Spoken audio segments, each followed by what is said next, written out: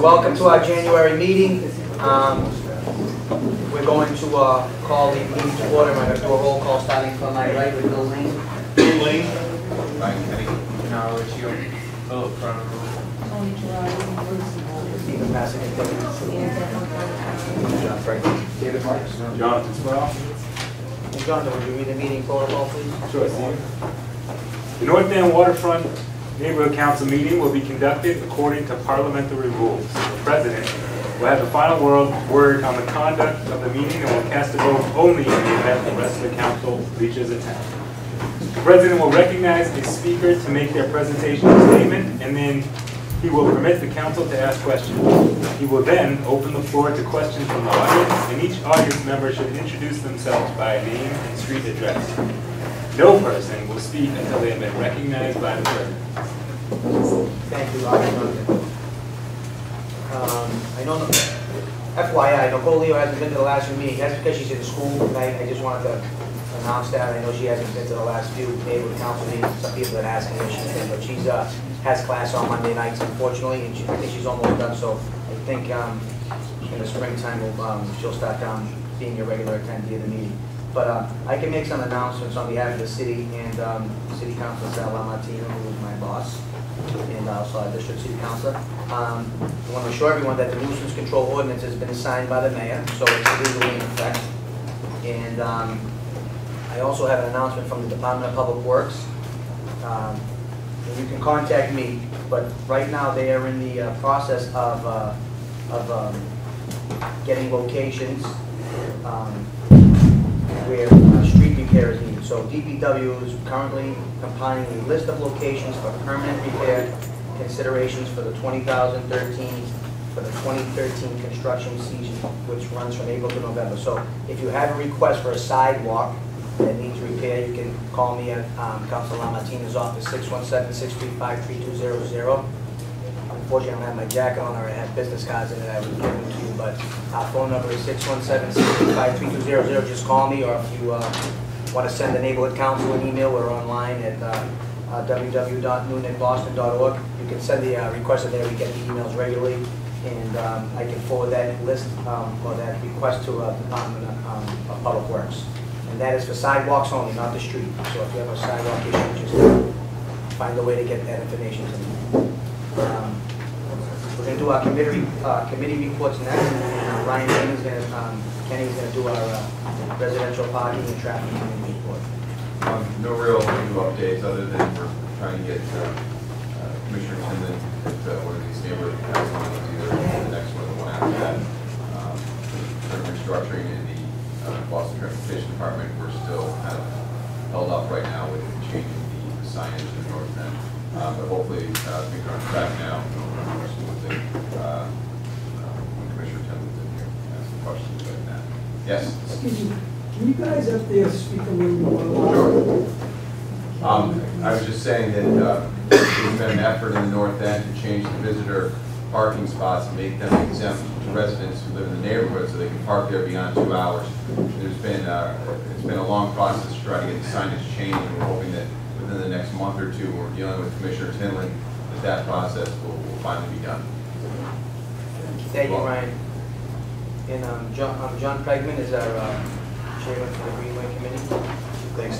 So we're, we're still in the transition as most them, so there's not a lot to report, but we will and do anticipate becoming an agenda item to discuss a lot of things that have been going on recently. But for tonight, I'd like to do a few things before I pass it to uh, Jody, who's representing the Conservancy. Um, The winter lights are still on display, of course. Uh, We went to the lighting of blades down by Rowes Wharf last week, which was great. You can obviously go down there and uh, texture color to the blade, which is, which is a lot of fun, so I suggest you do. I'm not giving you the phone number because I want you to go down there and do it. Um, RoseKennedyGreenway.org also lists a lot of these events. But we also, um, as we are into the new, new 2013 year, are looking for any types of programs or events or suggestions that those may have, so uh, input is welcome. Um, And then one thing we do have coming up is the North End food trucks, well, I suppose they're just the food trucks, but they're going to be coming into the North End. most significantly Clover, which is a big uh, favorite amongst the- the city and a cupcake. truck. So uh, look for those. Dates, times will still be determined, but the weekend hours when it's nice and uh, as we've seen down in Rowes Wharf and around the city are now coming to uh, North End Parks. Jody wants to talk briefly about the CARE carousel. Sure, um, thank you. And we're delighted to welcome John to our board of directors. Um, It's already been fun and, and we're looking forward to, uh, to making a real difference with us, so thank you. Uh, we would like to do a, um, a presentation on the new Greenway carousel, uh, to the committee, and I think, Stephen, we may be on the agenda for next month.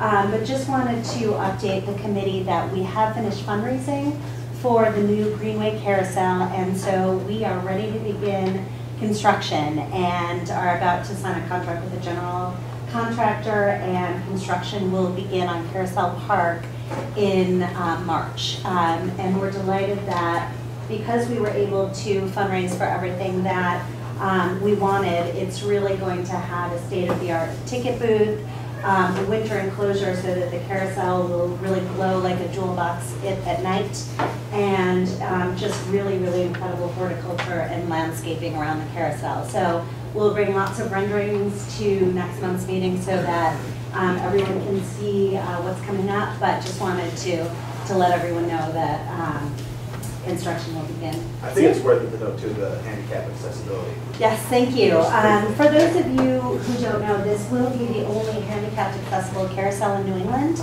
We, our carousel artist is crafting two carousel characters.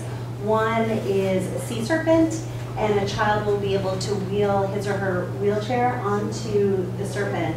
And the other is um, a character that it doesn't move as much, so any children with any kind of sensory challenges is also going to be able to ride the carousel as well. So we're particularly excited about, about that piece and bringing that to the Green Line. So thank you Thanks, for reminding me. I question, that's all been done with private money, right? We, um, it's about ninety-five percent private. We did apply for a highly competitive Massachusetts Cultural Council grant. Um, and that is the only sort of quasi, uh, public money that's going for the carousel. Everything else is privately fundraised for. Thank you.